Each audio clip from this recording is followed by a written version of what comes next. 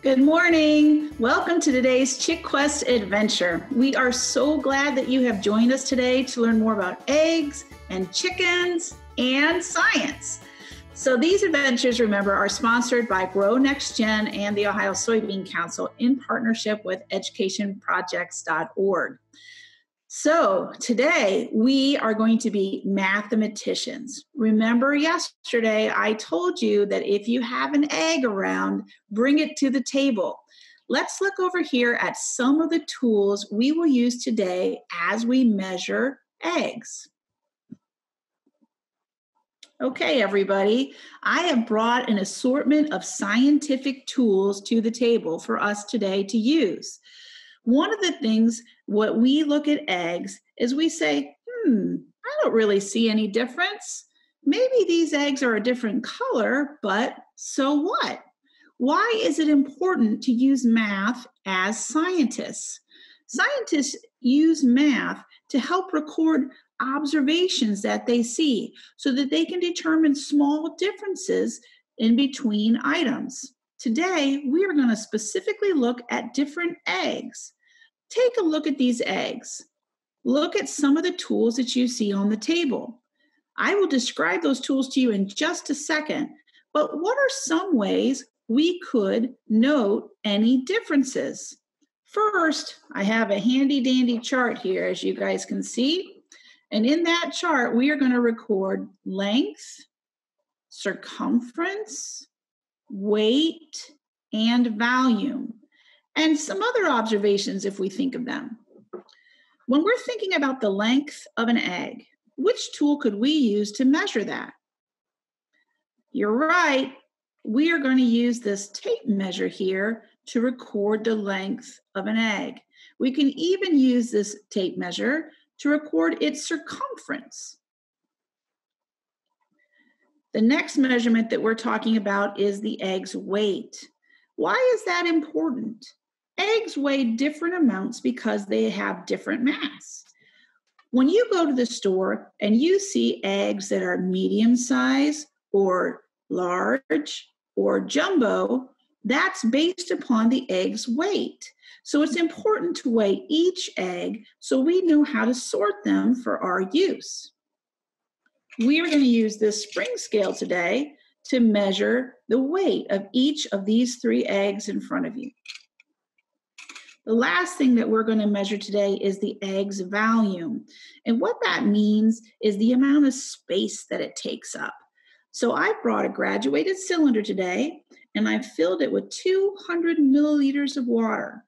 And we are going to put an egg in there and watch how the egg takes up space in the graduated cylinder. What will happen is it'll make the water rise. And I can record that difference and discover the egg's value. Okay, are you ready to get started? Let's look at egg number one, this white egg. Remember, the first thing that I said we were going to measure was its length. To do that accurately, let's take our pencil and make a spot at the top of the egg where I can start my measurements and flip it over and make another notation at its bottom.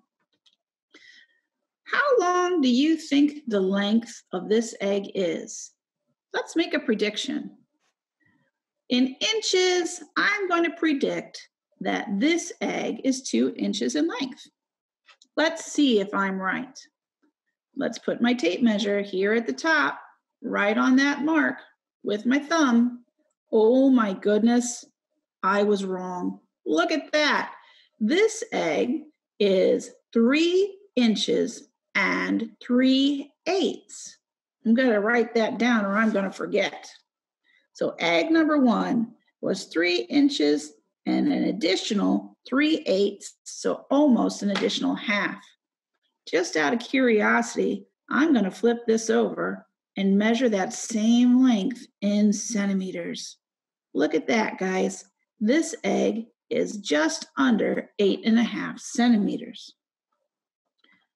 I better write that down. So eight and another three, whoops, tenths of a centimeter. Now let me put this egg next to the brown egg. Do you think that the white egg or the brown egg has a longer length? Let's make a prediction. It, le- it seems a little obvious to me, but on the camera, it looks like they're about the same size. So let's just say, is the white egg bigger or smaller in length than the brown egg? Do you have your prediction ready?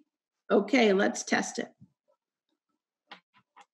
I'm going to again carefully mark my top and bottom of the egg, and then I'm going to measure. I think the brown egg is smaller. And I'm right. The brown egg is only three inches in length. So I'm going to write that down.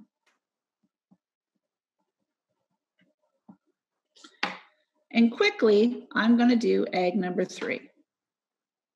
You make your prediction. Is it smaller? So shorter in length from the white egg? I think it's the same size. Uh-oh, I was wrong. It's only three and two eighths of an inch.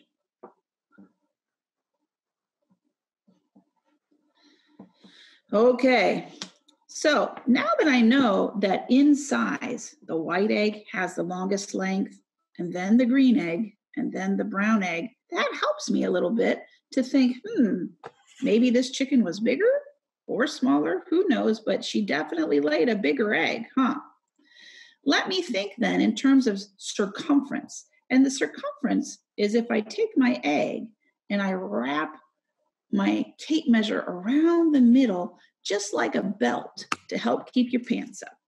So I'm going to put one mark here in the middle. And my prediction is that this circumference is longer than its length. Okay? So that would mean it would have to be longer than three inches and three eighths. Let's see. As I carefully put my tape measure on the mark, I'm going to wrap my tape measure all the way around until I can see again. And look at that, guys. Can you see? It's just under six inches. So it looks like it's five and five eighths of an inch in circumference. Again, I'm going to write that down. And based upon my previous data that I've taken here, my prediction is that the green egg will have the second largest circumference and the brown egg then will be the shortest circumference. And if we have time, we're going to come back and measure that. The next measurement that we can take today is weight. Now, to do that, I have this really cool spring scale. Does everybody see? Let's weigh this white egg. First, I'm going to take my egg and put it in a bag. Whoops, I hope I didn't crack it. And I'm going to go ahead and suspend it from my spring scale.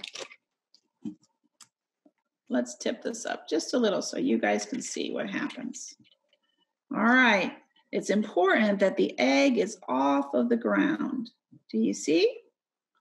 On this particular spring scale, we have measurements in grams and ounces. So the metric system and the system that we typically use here, the good old English.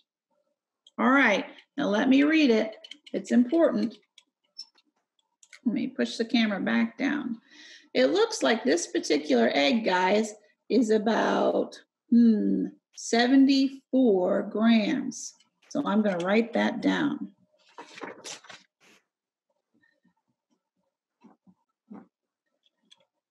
And I am quickly going to weigh the brown egg. Remember, it was the smallest in length.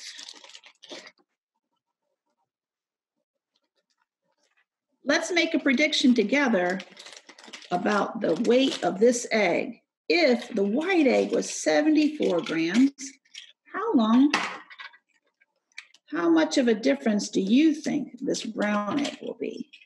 Here we go. This brown egg is 62 grams. So that's quite a difference.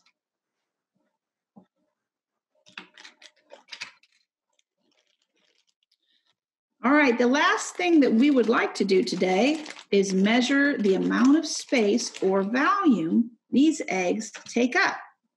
Now remember, we went from the biggest egg in length to the in between, the medium egg, and then the smallest egg. Okay, so my prediction is that this egg will have the most volume and this egg will have the least volume. Let's see if I'm right. I'm going to switch the camera so you can more easily see what I'm doing. All right, this is dangerous. Are you guys ready? Okay, we're going to take the white egg and we're going to tip our container and carefully put it down in the water without spilling anything. And notice here on this camera that the volume has gone from 200 milliliters to about 253 milliliters. So let's write that down. So we had a displacement of 53 milliliters of water. So that means that this egg's volume is 53 milliliters. Isn't that cool? Let's take a look at some of our measurements. Let's think of reasons why scientists use measurements in their work. Remember, scientists are very careful about what they do. It's really important to track your data. Today, as mathematicians, you are using measurements to record differences in eggs. You can do this at home anytime. Grab some eggs from your refrigerator Maybe ask your mom to get jumbo eggs from the store and large eggs from the store so that you can see some of the differences. Remember when I told you that the weight of the eggs determine the size of egg and how they're sorted. So let's look at our weight really quick. Today, we had eggs that weighed 74 grams and another set of eggs that weighed 62 grams. Remember that? An egg that falls between 62 is a large egg. So that means this brown egg is graded as a large egg in the grocery store. And did you know that we use large eggs in all of our recipes? So when you're doing some recipes with your mom and cooking at home, you're doing math. You're using some measurements as you decide how much of each ingredient you use. And all recipes are based on the large size of an egg. Remember that white egg that we talked about that's here in the graduated cylinder? That was 74 grams. When I look down here, that means it's a jumbo egg. So if an egg is over 70 grams, it's considered jumbo. Could you imagine being the chicken that had to lay that egg? Oh my goodness. Well, guess what, guys? I am so excited that you are here with me today on ChickQuest Adventures. Just to review, what we learned today was how to measure the differences in eggs that you see. We measured the length, so from top to bottom. We measured the circumference, so around the middle. We measured its weight and its volume. And we used those measurements to be able to determine the differences in eggs. Okay, I'll see you tomorrow. Tomorrow, we're going to talk about egg membranes and how things go in and out of an egg. Take care. Please go to grownextgen.org to see all of the great resources that we have with ChickQuest and other things. Have a fantastic day. Goodbye.